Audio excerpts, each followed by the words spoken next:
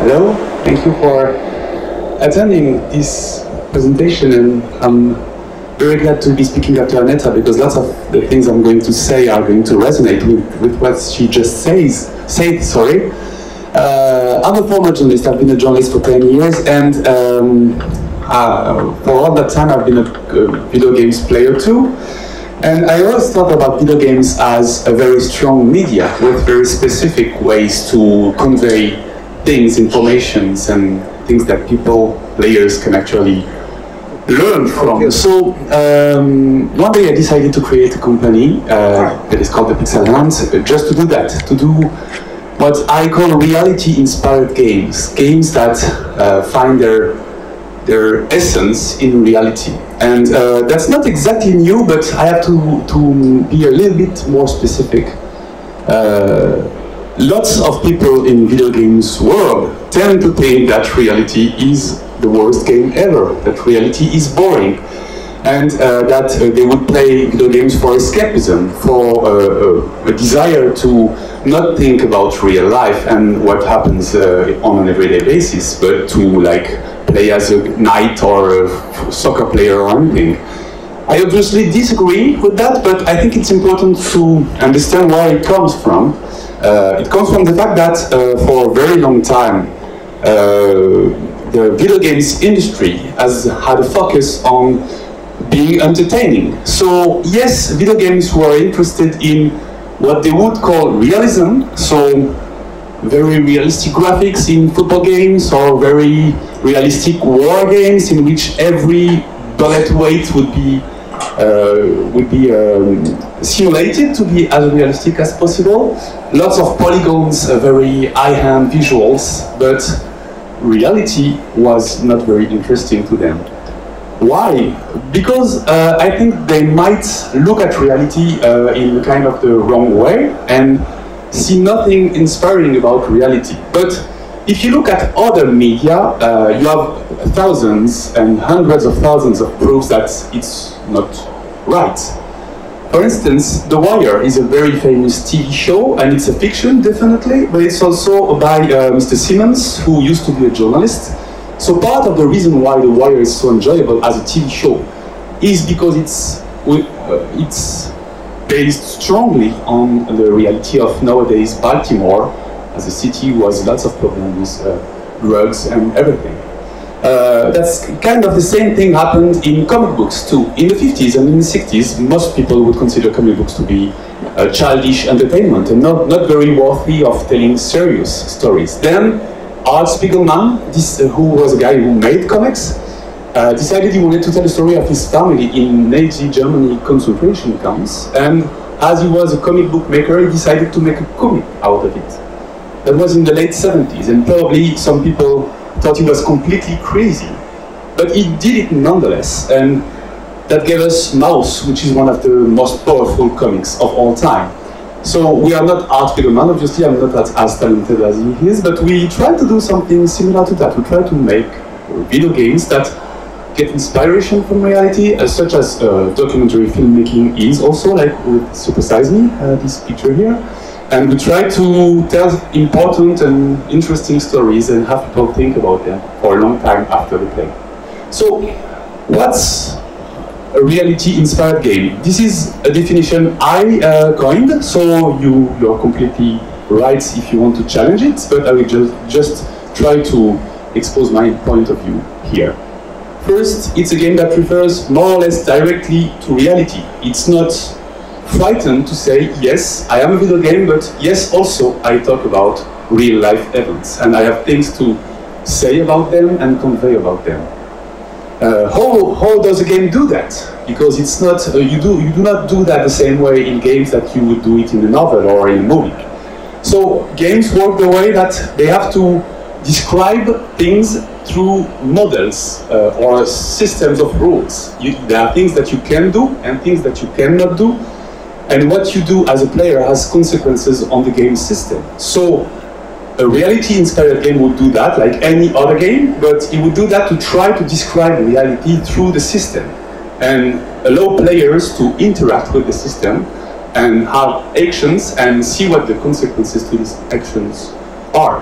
And that's the um, third point. It's very important that obviously games are designed to be played. If you fall asleep uh, looking at a movie uh, and wake up one, one hour and a half later, the movie will be ending when you wake up, and probably you would have drooled a little bit on your couch or something. But if you fall asleep before uh, Super Mario, uh, then Mario would be at the exact same place, because the game is a discussion between the player and the game system. If you do not interact with the game, the game does not play itself. So the players will be able to interact with this model, and thus uh, they will adopt unusual points of view, like they will games would allow you to be in a situation that you are not in in your everyday life, and that's important because you will experience situation and you, you might learn from them, but you will not have to face real life consequences. And that's very important. I've, I've made a game that is called Bury My Love. It's about a um, Syrian migrant who tries to reach Europe. And some people talked about, talked about it saying, uh, that's a game that puts you in, in a migrant's shoes. And I strongly oppose this idea. No, you are not in a migrant's shoes, and you are lucky not to be. It's not about that. It's about having a glimpse of the experience, but it's a game, and you're preserved from the awful, harsh, real-life consequences. And that's very important because I think that's what allows uh, games, reality-inspired games, to be meaningful experiences because you can reflect on the consequences without feeling personally threatened in your security, for instance.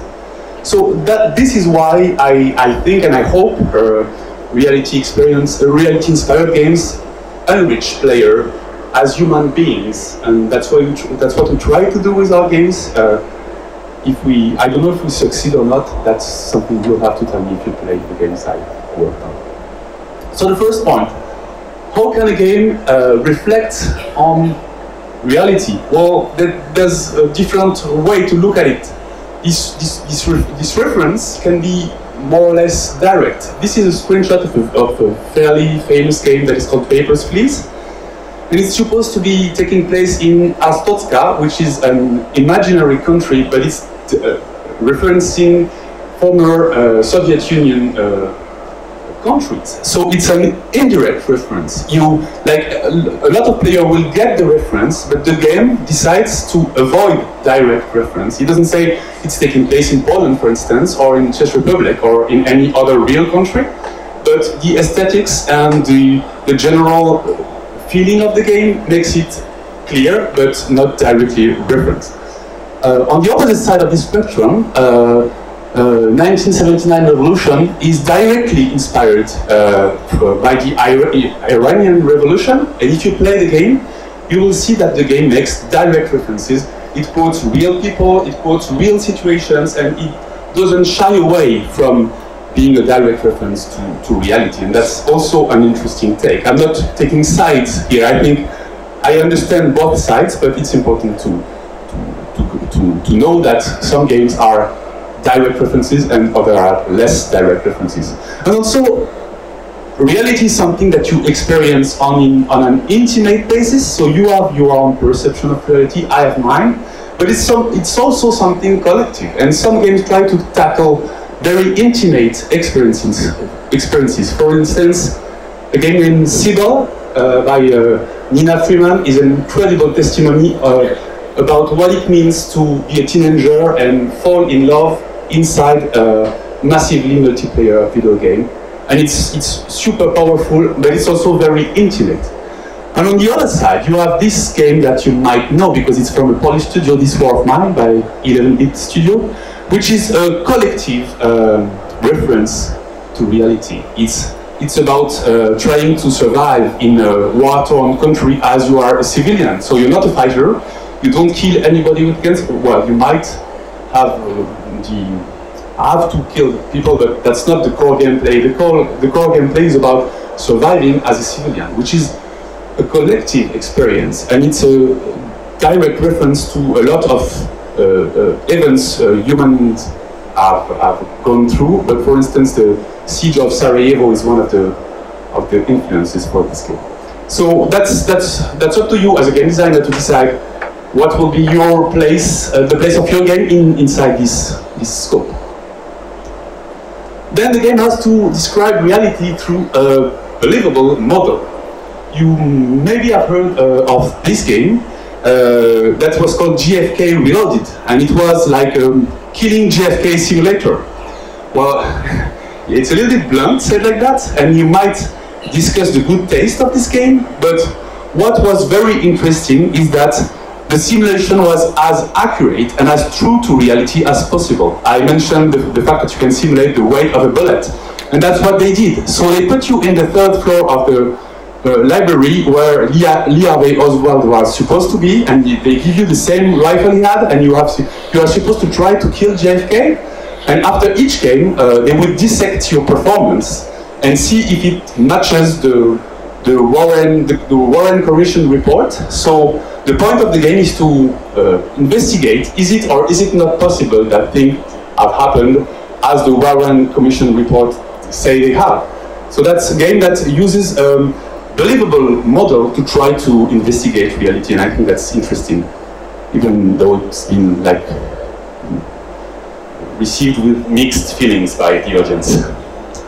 Uh, so reality-inspired games, they also allow you to adapt point of views that are not your own. For instance, we made this game about crisis communication, jeu d'influence, which, which translates to game of influence. So you are a spin doctor, and you are trying to no, it's about spin doctoring, but you are playing as someone who hires a spin doctor to try to uh, get out of a media crisis uh, situation.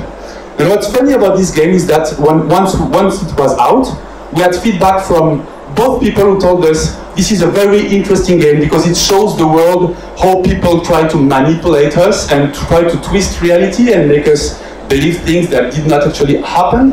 And we also had feedback from uh, communication uh, professionals that uh, would say, oh, it's a very interesting game because it's a very good media training tool. So lots of people perceive it differently, and I think that's interesting because you can uh, have uh, your own view even though the game puts you in one specific situation. The game does not tell you how to think, it just allows you to leave a situation and then you, you are able to draw your own conclusions. And this is also very important when game designers try to, try to put you in situations that could potentially be hazardous to your health. For instance, this work by very famous game designer named Robert Yang. Um, he's an homosexual and he's like, lots of his work has been uh, about homosexuality and the acceptance of homosexuality by society at large. And for instance, in, in this game, which is called the Tea Room, is uh, put you in, in, in the shoes of, of, I said I would not use that expression, sorry. he, he, makes you experience the situation when you are an, an, homosexual in 1962 in Mansfield, Ohio, so a very rural part of America where homosexuality was strongly uh, frowned upon by society in general. And you have to meet with other people in, in, in, in the bathroom, and you have to try to have a romantic relationship with them. But some of them are policemen in disguise, and you don't know that. So you are trying to seduce men, but you don't know if you are going to uh, have a good time or have lots of problem. And when you get lots of problem, you get this gut feeling that it's something that could be very very bad for you if you were actually experiencing this experience in 1962 in, in Mansfield, Ohio. So it's very interesting. Also, uh, the funny part is that um, it's about um, like performing oral sex, but as you might know, video games have absolutely no problem with guns, but they have a lot of problem with penises. So what he did is that when you perform oral sex on the, on the man, uh, they have guns instead of penises, and if you, if, you, if you are good at what you're doing, well, I'll let you imagine what happens with the game there. But it's really interesting. Okay, to, be, to quickly wrap it up, um, I think that reality-inspired games are interesting and important because they allow you to, to to have a deeper understanding of what being human is. And for instance, there's two examples. The first is uh, again uh, called the Normal Lost Phone. Um, so I won't tell you what it's about because it's part of the experience to uncover what the theme of the game is. Uh, and on the right is Burning Along, it's the game we worked on. Uh, so uh, this is Nour, this is the main character, and she's uh, having a conversation with her husband as she tries to flee from Syria and reach Europe. It's based on lots of real life testimonies and uh, it's also the, the real life story of someone who helped us write the game as realistically as possible. And we used smartphone interfaces because nowadays everybody has a, everybody has a very intimate relationship to their smartphone and everybody knows how to text. So everybody here even if you never played a video game in your life can play those two video games. And i think that's important because if we want to say things about the world we live in through video games we also have to take into consideration that video games for lots of people are scary stuff that you, you can't uh, uh, get the hang on. Uh, well, those games are not. We really try to be as, as, as uh, careful uh, to design games for everyone as possible. For instance, my mom finished my game, and that's what of, one of the things I'm the most proud of.